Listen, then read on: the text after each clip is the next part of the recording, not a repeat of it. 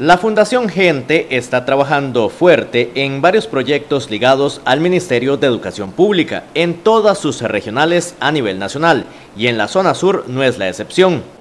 En la zona sur, bueno, nosotros hemos, eh, a, nivel de direcciones regionales y a nivel de juntas, nosotros tenemos proyectos que buscan impactar a todo el país. Tenemos herramientas digitales, eh, tenemos eh, proyectos que también buscan llegar a las direcciones regionales como, como un todo, ¿verdad? las 27 direcciones regionales. Esta fundación está laborando muy de cerca con instituciones de la región Brunca. Uno de esos casos son las juntas del mes.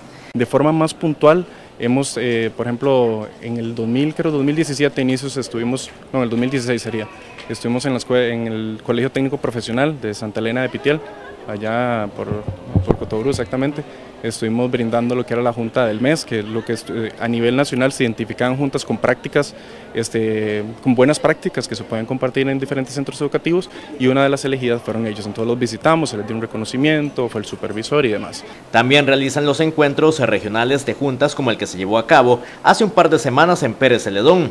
Eh, a la dirección regional pues hemos, nos hemos reunido con la coordinadora juntas para ver diferentes temas y eh, a la zona sur le teníamos de, le, nos, le habíamos quedado viendo el tema de los encuentros regionales, como le digo, estuvimos este 2017 y 2000, perdón, 2016 y 2017, eh, cubrimos en este caso 24 direcciones regionales y nos faltaban la de Pérez Celedón, Coto y Grande Terro, que dichosamente este año pudimos cubrirla ya.